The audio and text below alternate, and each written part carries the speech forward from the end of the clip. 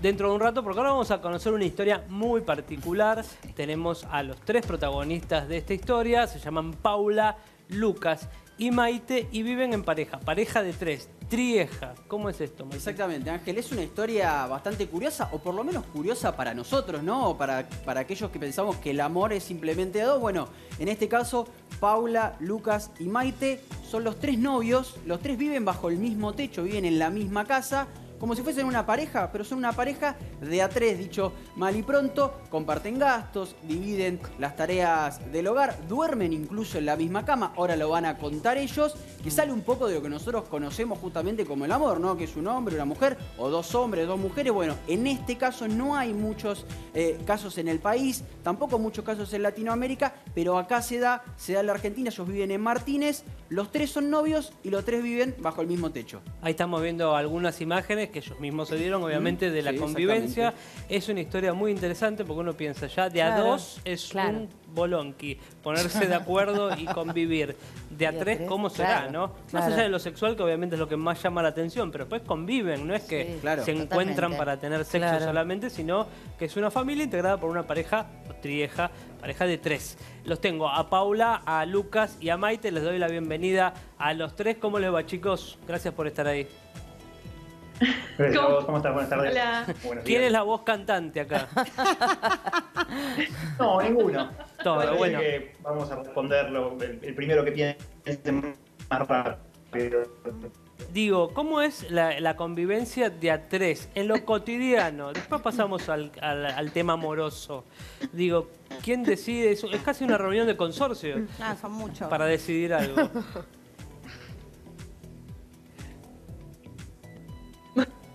No, bueno, tenemos eh, la mayoría de las tareas domésticas están repartidas. Por ejemplo, Lucas y yo cocinamos, hacemos un día cada uno, o Lucas y Mai lavan los platos, yo me ocupo de lavar la ropa, que es un montón. Bueno, para gente que vive por o, con amigos sabe. Pero no, a ver, es una convivencia normal. Eh, creo que un poco de lo que más nos sorprendió de la cuarentena es que pensamos que por ahí iba a ser mucho más complicada, mucho más dura, con más discusiones y nada que ver. ¿Cuánto hace que están juntos los tres? Fue, fue escalonado, yo leí la historia, pero los tres conviviendo. Tres años. Tres, años. Un montón. Es un, siglo. Mm. sí, la verdad que sí. y duermen todos juntos. Vi que compraron una cama para entrar todos en la misma cama.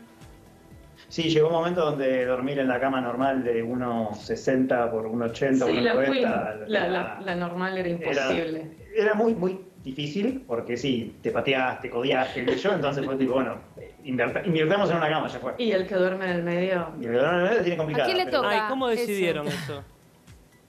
Igual, o sea, ella más que nada, pero se van turnando entre ellos dos.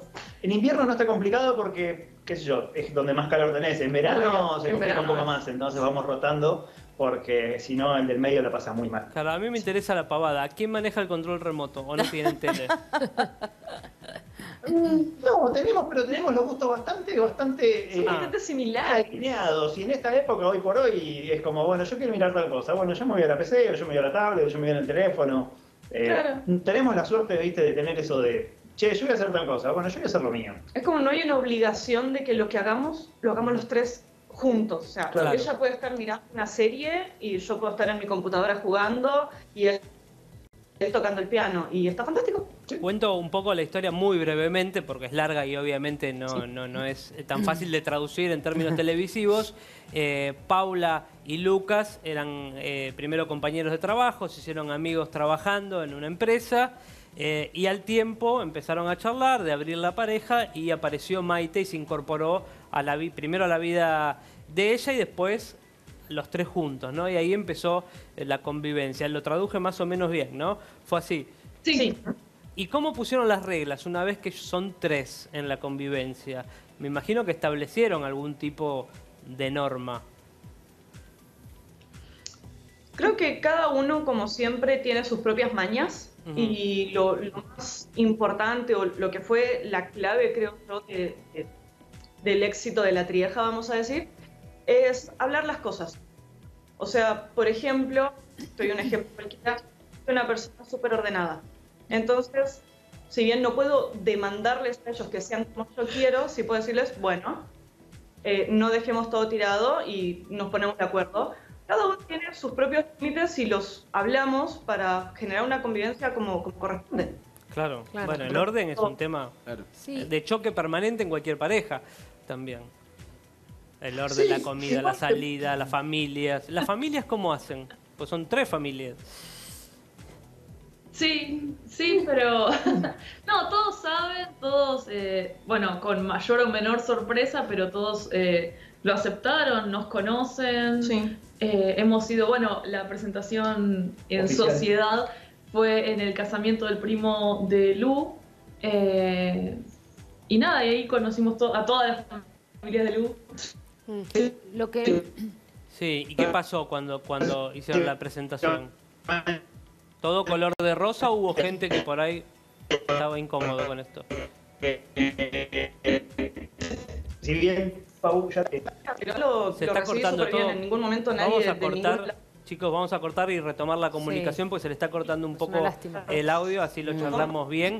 Pero obviamente es eh, a muchos les genera polémica, a otros sorpresa. A mí me, causa curiosidad el orden. A mí me pareció súper curioso. ¿Y sabes qué me parece o sea, interesante? un cumpleaños, vienen las tres familias. Vienen las tres familias. No, y lo interesante. Tiene que ver con esa libertad. Ahí retomamos, ahí retomamos la ah, comunicación. Ahora se escucha un poco mejor. Se fue Lucas a arreglar la comunicación. Ah, no, ahí está, está. ahí lo veo a los tres. Eh, por ejemplo, para dormir, uno tiene sueño y se quiere ir a dormir antes, los otros dos no.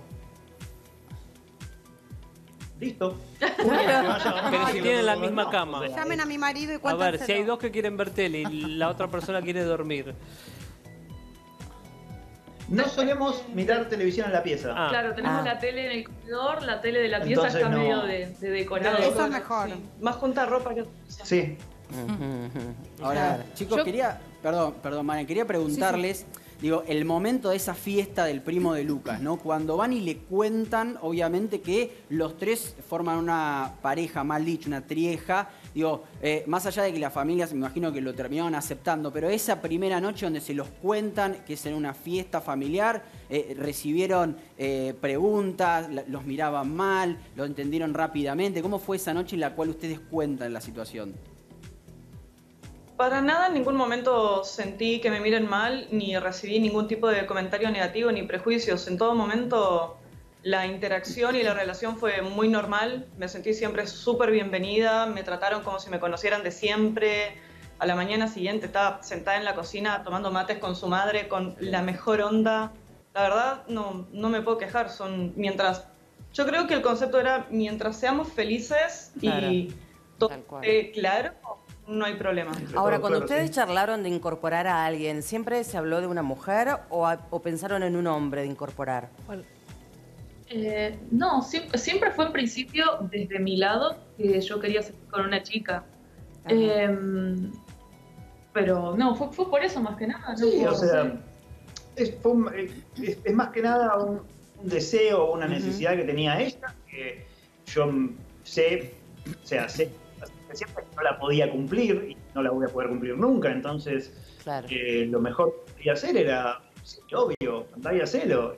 Como, como dijimos antes, esto fue deviniendo en, en algo de una noche. Eh, la conversación fue mutando a si tenemos una relación los tres, y es como. Claro, fue una charla que tuvimos durante casi dos años. O sea, bien, obviamente, estamos contando súper en 10 segundos, pero fue una charla que tuvimos durante dos años. Fue todo prueba y error, fue ver cómo nos sentíamos eh, saliendo a tomar algo, que yo salga a tomar algo con una chica, después que si, bueno, seguíamos hablando por WhatsApp y como cada paso y siempre hablar, bueno, ¿cómo te sentiste? ¿Cómo estamos? Sí. ¿Y hubo en algún momento, alguna pared? Perdón, no, digo, me, quedé pensando, digo, esto de prueba y error, si en el medio, en el camino hasta llegar a construir esta familia de, tres, esta pareja de tres, eh, hubo alguna otra, algún otro vínculo con otra, alguna otra chica que quizá no funcionó. ¿Y por qué no funcionó? Eh, sí, pasó que, salimos con una chica antes de conocer a Mai, como un año antes de conocerla, pero se, o sea, se terminó porque queríamos cosas distintas, o sea, como no sé, nosotros ya salimos hace bastante, hace siete años, ¿no? Sí, siete años, perdón, soy malísima con las fechas, eh, ya hace siete años y como que estábamos súper estables y teníamos planes como, no sé... Eh, a corto plazo, largo plazo. Claro, y como ella tenía otros planes, o sea, como que no, no se unían claro, las dos cosas que queríamos. Eh, que con Maite no fue así, con Maite cuando la conocimos, que bueno, primero empecé a salir yo y después fuimos los tres, pero como que enseguida se acopló a todos los planes y le pareció re bien y ella traía planes nuevos y era como, che, qué copados, o sea, como que muy natural todo, que los tres quisieran. Ahora, no, no quisiera cuantificar el amor porque el cuantificar es imposible, aparte el amor es algo muy etéreo, pero digamos, eh, ¿eso está claro en, la relación? ¿Está como repartido de alguna manera? No, no, no, no quiero porcentajes, obviamente. ¿Vos decís el amor mutuo? El, eh, claro. Para mí es equitativo, es como, no sé, como decir, no amas a un hijo más que al otro, yo no amo a una pareja más que a la otra, o sea, ambos son mis parejas y compartimos cada uno lo mismo y no hay una preferencia que, yo sienta que, haga. Claro, compartimos cosas diferentes quizás con cada uno. Pero eso también complementa, claro, entonces está buenísimo. Tienen más pudieron, pudieron saltar los celos, digo, para dejarlo para una persona celosa. Eh, claro, ¿no? Porque al principio es experimentación. Bueno, hay dos que ya venían siendo pareja y se incorporó una tercera digamos, porque contaba yo mientras se cortó la comunicación que ustedes para todo eligen el que participa, participa y el que no quiere, no quiere, de lo cotidiano a lo sexual. Eh, ¿Pudieron barrer el límite de los celos? Sí. ¿Costó? Sí, y no, no fue fácil, por lo menos para mí, y creo que para ninguna de las dos, tampoco fue, fue así de fácil, pero es lo mismo que dijimos antes, es una cuestión de tiempo y de sacarse un poco de encima la, inseguridad, que básicamente los celos, creo que, los celos creo que son eso, es una inseguridad propia reflejada en el otro. Entonces es, es deshacer un poco ese camino que, te llevan a, un poco en la, crianza o en el, colectivo, el social, eh, que te lleva a andar, y es deshacerlo un poco, es volver un, un par de pasos hacia atrás y desaprender algo que aprendiste, y es como, che, está buenísimo que la persona que yo amo esté pasándola bien con alguien más que no soy yo. Claro. Es generosidad eso también. Lucas, te quería preguntar, en este mundo tan machista que se vive, ¿cuál es la mirada, los comentarios que hay hacia tu persona? Porque vos vendrías a eh, ocupar el lugar, vos viste que baratamente siempre es como la fantasía, ¿no? Un hombre con dos mujeres, esa cosa como muy claro, de los tipos, digamos. Eh, vos que tenés una familia eh, con ellas dos y que se aman y que se los ve súper generosos, hasta se nota cómo se miran cuando uno habla del otro. Digo, ¿cuál es la mirada de la afuera hacia vos que estás con tus dos chicas? Eh, muy, muy, muy lejana a la realidad. La mayoría de la gente cuando se entera de esto es que sos un genio, que como hiciste, que como las convenciste, que, que que yo quiero eso. Y es como, a ver, yo francamente si me lo preguntás, yo no hice nada. Lo único que yo hice fue decirle que sí a una inquietud o a un deseo de mi pareja. Que bueno, después, bueno, como, como, con todo, fue hablado, fue consensuado y demás. Pero fue algo planteado que yo siempre tuve la posibilidad de decir, mira, la verdad, a mí no me deja cómodo, o yo no quiero, o esto está bien para vos, pero no para mí. Pero no, me di cuenta que qué sé yo, yo no, no, no podía suplir lo que ella necesitaba, entonces como, bueno, vamos a hacerlo. Entonces, lo que siempre digo es, yo no hice nada, yo simplemente dije que sí en el momento indicado, y nada más. Después todo el resto fue de ellas dos. Lucas. Entonces es como que la fantasía esa, claro. chicos, la verdad no, lamentablemente no. Me encantaría ser tipo el decir que soy el macho de América, pero no, ni, cerca. La pregunta eh, para los tres, obviamente, recién eh, comentaba que desde lo legal, eh, aunque parezca increíble, es más difícil que ustedes puedan casarse los tres que, por ejemplo, tener un hijo y que los tres sean los tutores de ese chico. ¿Piensan en esa posibilidad, en tener un hijo y que los tres sean padres y madres de ellos, del nene? ¿Ha surgido la charla como surge en cualquier pareja trieja estable de qué va a pasar el día de mañana? ¿Qué opinas vos al respecto? ¿Qué te gustaría hacer?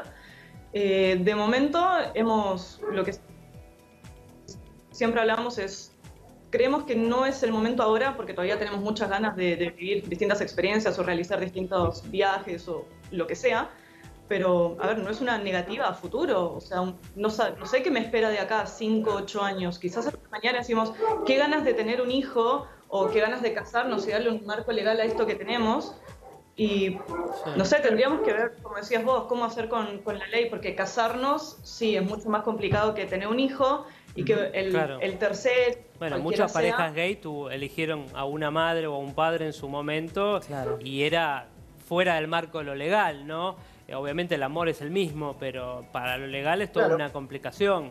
Eh, estoy escuchando al perro ladrar, o perros. ¿Quién se ocupa ah, no, de los tres? De afuera. Ah, de afuera, no, es de ustedes, no tienen perro, porque eso sería otro tema. La mascota. Eso sería un drama, tener un perro, una mascota. Seis gatos. ¿Seis gatos? Y se, conjugaron las mascotas, las que tenían ellos con las que tenían Qué quilombo. Una familia ensamblada. Bueno, me encantó conocer la historia. Eh, seguramente van a recibir un montón de mensajes de amor y algunos negativos, como pasa siempre. Pero bueno, me encantó que, lo cuenten eh, públicamente porque, bueno, son cosas que, no tienen visibilidad y ocurren todo el tiempo, ¿no? Sí, obvio. Creo que, perdón, lo que está bueno es que se da en un marco de, honestidad y consenso, en vez de que Paula, por ejemplo, hubiese ido por espalda y lo engañe a Lucas. Eso sí estaría mal, me parece. Claro. Sí. Chicos, felicitaciones, un beso para los muy tres. Interesante. Gracias, gracias, muy amable. Gracias.